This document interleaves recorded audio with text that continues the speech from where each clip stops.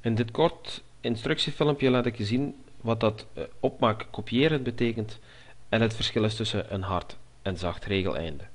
Ik ga van start met opmaak kopiëren. Stel dat je een regel de juiste opmaak gegeven hebt. Ik geef deze regel nu een eenvoudige opmaak, vet en cursief. En je wilt het op verschillende regels in het tekstdocument gaan toepassen, dan kan je de volgende regels selecteren en opnieuw gaan kiezen voor vet cursief. Maar dat wordt moeilijker als je al veel instellingen qua opmaak gedaan hebt. Ik zal het even verduidelijken. Stel dat ik in deze zin niet enkel vet en cursief had aangeduid, maar ik ga ook als teken uh, bij het lettertype een ander lettertype kiezen. Uh, eentje dat duidelijker is. Century, dat is een duidelijke lettertype. Ik geef het ook een andere kleur. Ik zal het groen geven. Een schaduweffect maakt het een beetje te donker. Dus ik ga het zo even laten. Oké. Stel dat ik een aantal zinnen deze opmaak ook wil geven, dan kan ik dat dus die stappen iedere keer herhalen per zin dat ik dat wil doen. Maar je kan ook gebruik maken van deze optie. Paintbrush opmaken. Dat is wat we bedoelen met opmaak kopiëren. Ik selecteer gewoon opnieuw de zin en ik druk nu dit verfpastje aan. Wanneer het verfpastje ingedrukt is, zal mijn cursor ook veranderen naar een inktpot. Via de inktpot kan ik via enkele kliks woorden in dezelfde opmaak uh, gieten. Dus klik ik hier eenmaal, dan zal dit in een, uh, dezelfde opmaak verschijnen.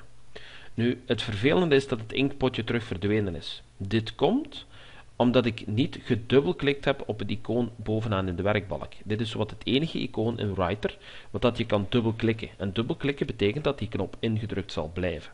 Dus als ik nu de zin selecteer en ik ga dubbelklikken op dit icoon, u ziet eigenlijk niets veranderen aan het uh, verfkwastje, maar als ik nu ga selecteren verleden, aanwezigheid, steenkoolmijnen, dan ziet u duidelijk dat de verfpotmodus actief blijft.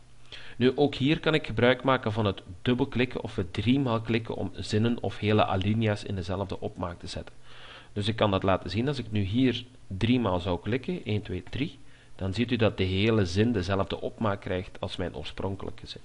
Stel dat ik hier in het midden deze hele alinea in dezelfde opmaak wil, eenvoudigweg viermaal klikken, 1, 2, 3, 4, en de hele alinea zal in deze opmaak verschijnen. Ik ging u ook even laten zien wat het verschil is tussen een hard en een zacht regeleinde. Ik zet daarvoor even de verfkwast uit. Ik laat deze opmaak ook helemaal verdwijnen. Dus ik ga de directe opmaak wissen, zodat u duidelijk ziet, dit is in lettertype Calibri en heeft geen enkele opmaak. Dus ik ga alles extra in lettertype Calibri zetten, zodat er geen enkel verschil meer is. Ik had u laten zien dat viermaal klikken een alinea selecteerde. Dus 1, 2, 3, 4. Deze is een volledige alinea.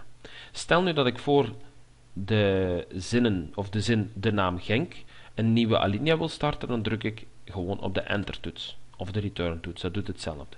Ik ga dat even testen. 1, 2, 3, 4. Dit is een alinea. 1, 2, 3, 4. En dit is een volgende alinea. Nu, u kan het ook zo maken dat, dit noemen we een hard regeleinde, excuseer. U kan het ook zo maken dat hier een zacht regeleinde verschijnt. Ik kan u laten zien dat het een zacht regeleinde is door deze knop te gebruiken. Niet afdrukbare tekens weer te geven. Het zijn tekens die, moest u uw document printen, niet zouden verschijnen. Nu, u ziet misschien hier overal een klein puntje staan. Een puntje wil zeggen dat er een spatie gedrukt is op het toetsenbord. En dit teken geeft, wat dat ik zojuist noemde, een hard regeleinde aan. Er wordt een hardregeleinde geplaatst, waardoor dat de volgende zin eigenlijk de start is van een nieuwe alinea. Stel dat ik hier voor de naam Genk ervoor wou zou zorgen dat zowel deze zin als deze zin tot dezelfde alinea behoren, dan moet ik een zacht regeleinde gaan gebruiken. Ik ga dus mijn hardregeleinde even wegdoen, dus ik druk op delete, zodat mijn zin weer aan dezelfde alinea wordt toegevoegd.